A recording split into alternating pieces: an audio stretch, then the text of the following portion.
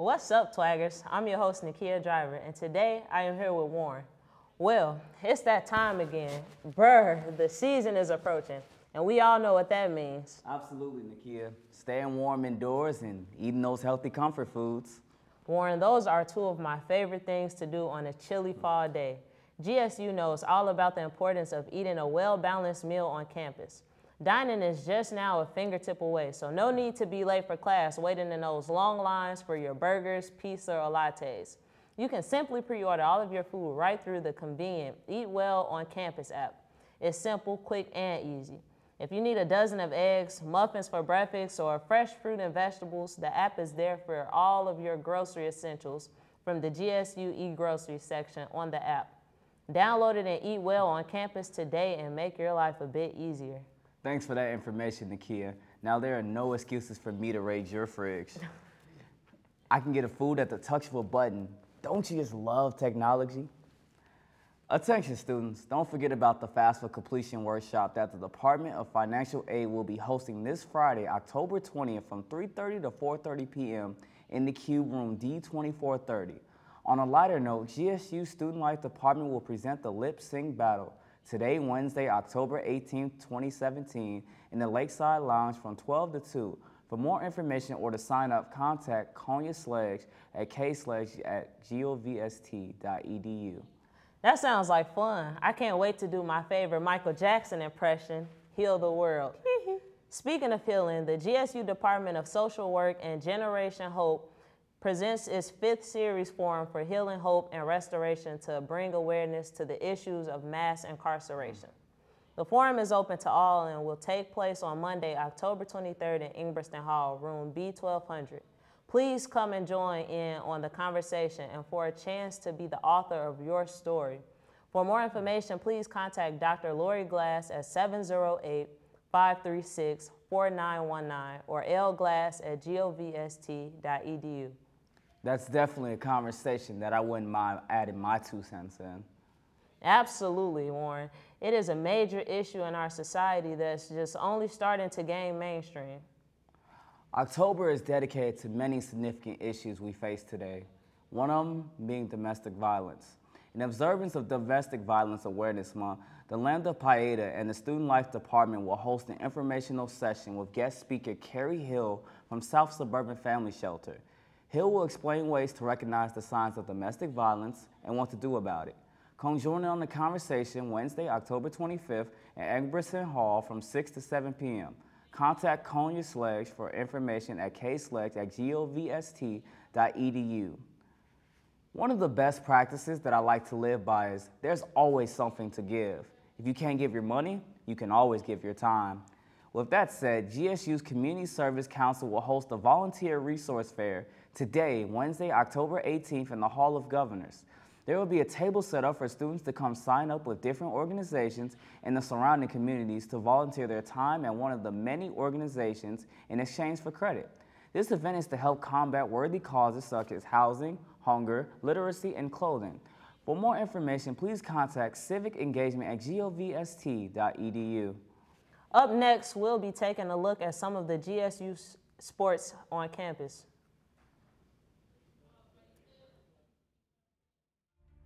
A Jaguar is fearless. It sees beyond the darkness and moves with silent contemplation.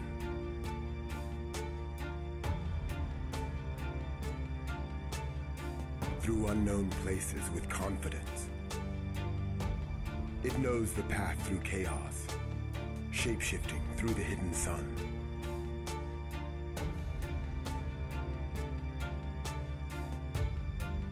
And when the time comes, it reaches out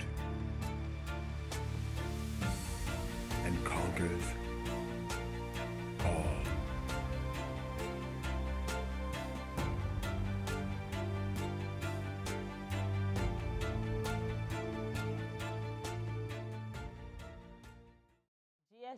golfer Kendall Paris has teed off at the Chi-Town Classics and mm. did an astronomical job representing GSU.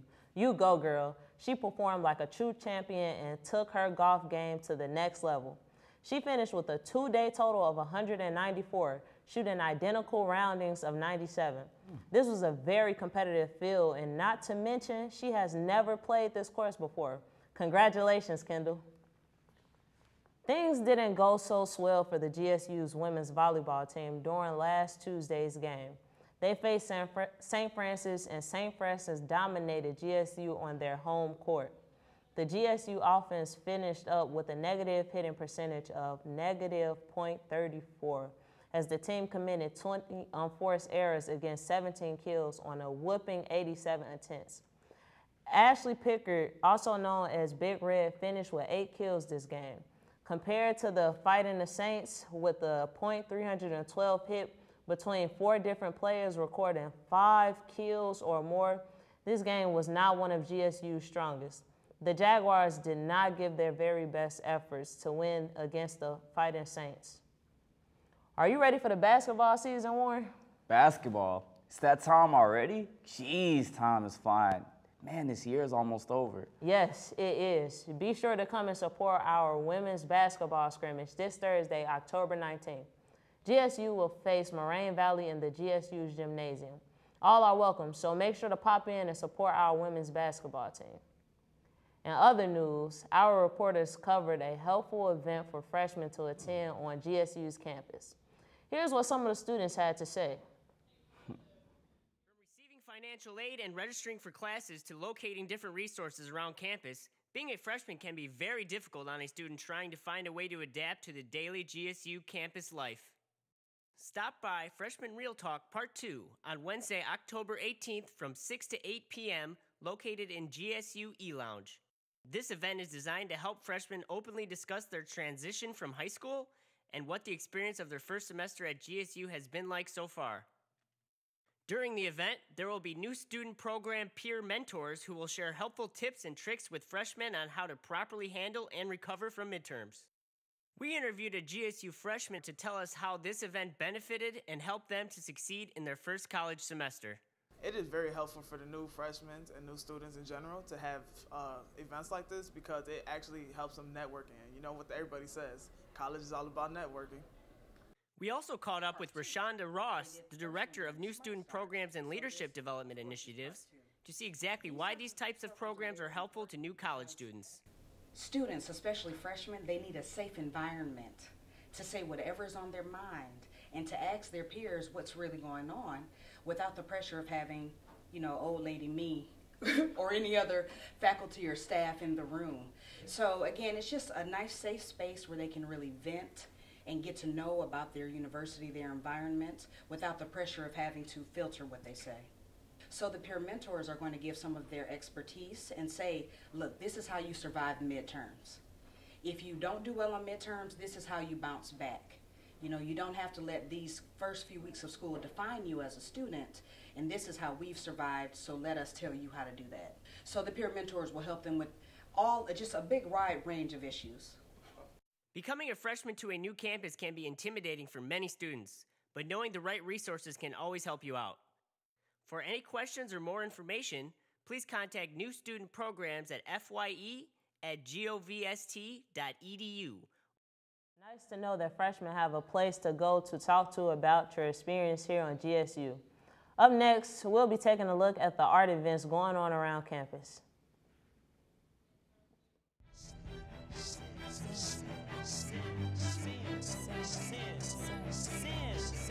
Don't judge me.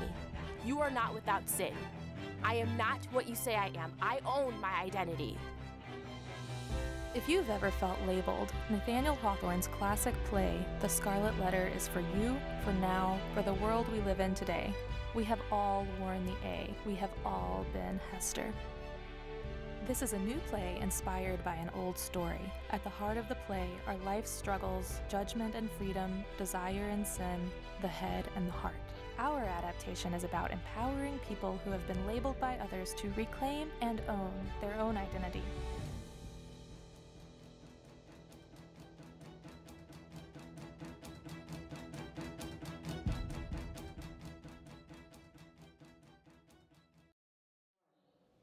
What's up, Twaggers? On Wednesday, October 11th, there was an art walk that took place on campus. Student had, students had the opportunity to admire different art pieces and converse with the artists about their work. Most of the exhibits run from October 11th till October 21st. Here's a look into the exhibits. We even caught up with one of the featured artists to get some insight into his, one of his pieces. On October 11th, there was an art walk that took place on GSU's campus. This walk featured many different artists and their exhibits throughout the school.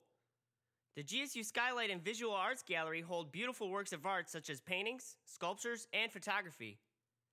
We were lucky enough to catch up with one of the featured artists to gain some insight into his creative pieces and the inspiration surrounding them. The world is definitely my inspiration and more um, to kind of hone in on exactly what it's like the transitions, the period, growing, pain, sadness, um, the whole process of just like living and just learning. That's that's directly what I've been learning from pretty much from day one. Just always be yourself, always create, just always create and always have fun. Like when you make art, have fun, create, and, and, and stand for it and stand in what you believe in when you create. Whether that's like you want to paint red dots on a piece of paper and you believe in it and you really do, then paint red dots on a piece of paper. You know what I mean? But don't be closed-minded as well. Like I, I, I found that as me growing as an artist, like I've always been like sheltering my mind because I never wanted to indirectly take from another artist. But it's like as I get more and more deeper into the um, the art world, more and more people are trying to compare my work to somebody, and then I'm like, I don't know who that person is. And then I gotta go back and do the, the homework to figure out like who is this person. So it's like don't be afraid to like learn from other artists because like somebody was like when I first started creating, that's how I learned who Jean Michel Basquiat was because someone was like, that's like Basquiat, you doing crowns and stuff. And I'm like, who? Like who? Who's this person that keeps saying with this crazy name? And I got a crazy name, and I'm like, I look him up and I'm like, wow, like like this is what I'm doing and this is what he did. It's, it's a little bit different, but it's like I'm in the same room as this, and I've never seen him before. So it's like indirectly somehow I, I got that same energy from the world. So it's like I might as well just get into it now versus like it come back to me and I got to figure out who he is. So just always just growing, just growing, having fun. That's what I would tell you. I said don't quit, just never quit. Create. There were many other featured artists in the art walk, such as Javier Chavira, Jonathan Casaria, and Raul Ortiz. Later that same night, artists Javier and Jonathan held a discussion in the Visual Arts Gallery. They spoke to an audience about some of their up and coming works, techniques, and various pieces throughout their exhibit. This exhibit will be held on campus until December 6th, so feel free to stop in the GSU Skylight and Visual Arts Gallery to support these wonderful artists and check out some of their awesome creations. Wow, those were some excellent pieces. These pieces can be found in the Skylight Gallery here in library, as well as the Visual Arts Gallery located in E1580. I'm personally looking forward to paying a visit to the art gallery myself. In other news, to honor LGBTQ month, on Saturday, October 21st at 8 p.m., Impact and the Center for Performing Arts presents Starting Over. Starting Over is a play written by Shepsu Aakhu. This is a story about young lovers from an intolerant small town that reunite years later in a major city. Their difficult past must be reconciled with an even more difficult present. According to the writer, it was written to highlight love, tolerance, race, and acceptance of the transgender relationships. Tickets are $28. A post-show discussion will with the playwright and cast will follow the performance. Pizza will be provided for all GSU student attendees starting at 7 p.m. in the CPA inner lobby. So come out and support this great show. In similar news, the Center for Performing Arts will be soon kick off its production of The Scarlet Letter. The Scarlet Letter is a show written by Sarah Saltwick, based on the novel by Nathaniel Hawthorne. It's about a woman named Hester Prynne. After assuming her husband died at sea, Hester had a child out of wedlock and is punished by the people in her town by being forced to wear a scarlet letter A on her chest. The A represented adultery. She learned to wear the A with confidence, and it ultimately ended up being represented as a symbol of power. GSU students are working hard to prepare for the show. Practices have already started, and the cast are gearing up for their debut performance on Saturday, November 4th at 8 p.m., as well as Sunday, November 5th at 2 p.m. Tickets are on sale now, $10 for students and $15 for everyone else. You can purchase them through the Center for Performing Arts page on GSU's website or directly at the box office here on campus. Up next, I'll be sitting down with Ned Laff from the Center for Junior Year. We'll be right back after this short break.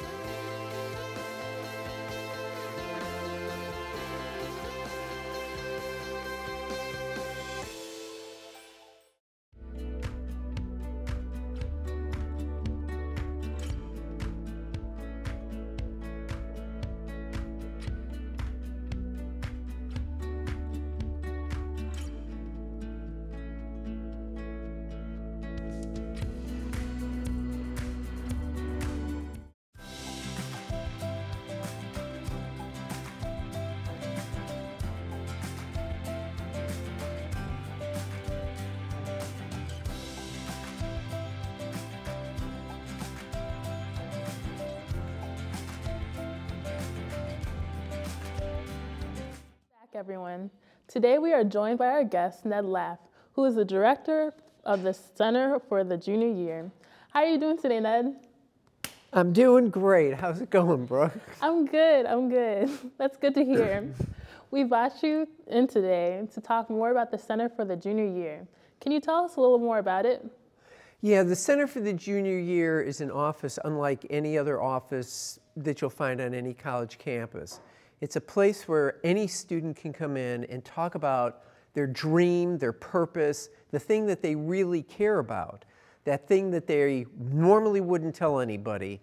So we can help them craft an education that brings together their general education, their major elective courses, leadership opportunities, experiential learning into a program that fits their own personal and professional interests. Wow, that sounds like a lot, and that sounds really interesting. Well, what are some of the specific services offered to the students at the center? One of the things that the center is very good at is helping students figure out what it is that they want to do. So it's not unusual to have students come in and they'll be in a major, but they can't really explain it, or they have some sort of idea, but it doesn't sound real to them. So uh, we help them translate that into academic learning opportunities. The other thing we do is we help students access what we call the hidden job market. Most of the time, the hidden job market is right in front of you, but most students never see it.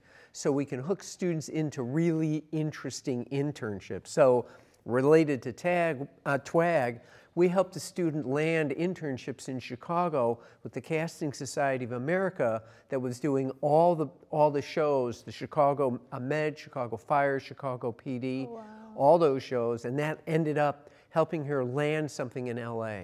So what we do is basically tell students, if you can dream it, we can tell you how to make it into practical reality. Wow, that's, that's really exciting.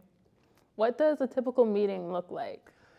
There is no real typical meeting, but we have a standard practice that we do. The first thing we want to do is disarm students. We want them to relax and realize that they're in a safe place where they can literally talk about anything that they're interested in, what their real concerns are.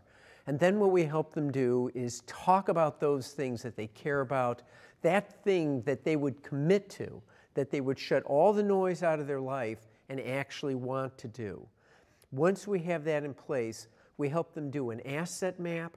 We help them plan out an academic program. We connect them with resources in the city of Chicago.